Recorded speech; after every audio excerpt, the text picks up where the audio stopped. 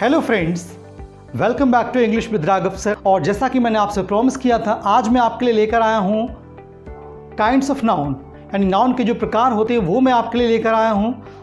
आज के इस वीडियो में आपको नाउन के काइंड्स के बारे में बताऊँगा मैं। और उनकी जो हिंदी होती है प्रॉपर मीनिंग और उनके जो एग्जाम्पल्स होते हैं, उनके बारे में मैं आपको खुलकर बताने वाला हूँ। तो वीडियो बहुत ही इंटरेस्टिंग और आपके लिए बेनिफिशियल होने वाली है। तो जुड़े रहिएगा वीडियो में अंत तक।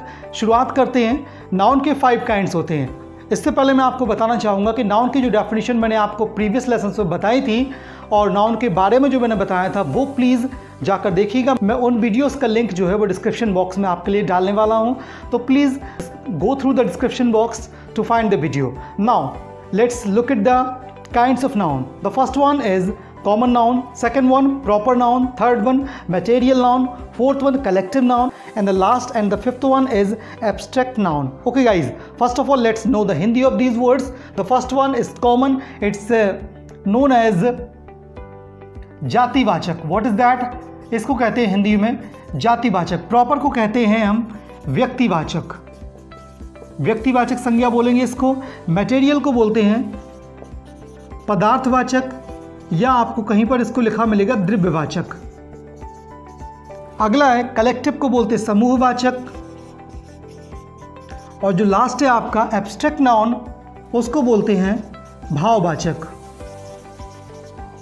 भाववाचक संज्ञा, यानी आपकी संज्ञा पाँच प्रकार की हुई। जातिवाचक संज्ञा, व्यक्तिवाचक संज्ञा, पदार्थवाचक या द्रव्यवाचक संज्ञा, समूहवाचक संज्ञा और अंतिम है भाववाचक संज्ञा। तो ये हो गए आपके संज्ञा के पाँच प्रकार। अब थोड़े से इनके एग्जाम्पल्स के बारे में देखते हैं। कॉमन नाउन कॉमन नाउन का एग्ज़ाम्पल होगा। बॉय गर्ल सिटी स्कूल ये चार एग्ज़ाम्पल हो गए एग्ज़ाम्पल बहुत होंगे। आने वाले वीडियोज़ में आपको इनका एलेबोरेशन भी मिलने वाला है।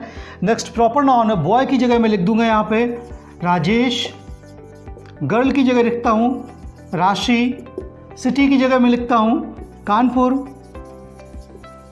स्कूल की जगह लिखता हूँ। Suppose D P S there are many more examples like this ना मटेरियल मटेरियल क्या होता है? पदार्थवाचक संज्ञा है तो इसमें आपको कुछ भी आ सकता है। वुड वो सारे मटेरियल वो सारी चीज़ें जिनसे कोई और दूसरी चीज़ बनाई जा सकती है, वो मटेरियल नाउन में आते हैं। वुड मिल्क हो सकता है गोल्ड हो सकता है, यानी जितनी भी मेटल्स होती हैं, वो सभी मटेरियल नाउन में आएँगी। आपका आयन आयरन नहीं बोलना है इसको this is called iron silver there are many more examples of material noun also fourth one is collective collective noun के एग्ज़ाम्पल में देखिए गाइज़ क्लास आर्मी कमिटी और आप एक और एग्ज़ाम्पल दे सकते हैं, यहाँ पे होता है constellation constellation is the group of stars any arranged group of stars is known as constellation last one is abstract abstract का मतलब भाववाचक. जितने भी भावनाएँ होती हैं या जिनको हम देख नहीं सकते हैं, छू नहीं सकते हैं, सिर्फ़ फील कर सकते हैं, वो है भाववाचक संज्ञा लाइक लव जैसा कि मैंने लास्ट वीडियो में बताया था आपको love is the best feeling of the world anger love का ऑपोजिट क्या होगा?